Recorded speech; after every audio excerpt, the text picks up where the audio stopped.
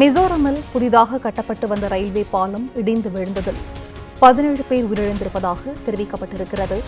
இடிபாடுகளில் மேலும் பலர் சிக்கியிருப்பதால் உயிரிழப்பு அதிகரிக்கக்கூடும் என்ற அச்சமும் எழுந்திருக்கிறது. இந்த கட்டுமான பணி நடைபெற்ற இடத்தில் மொத்தம் நாற்பது பேர் வரை இருந்ததாகவும் தகவல் கிடைக்கப்பெற்றிருக்கிறது.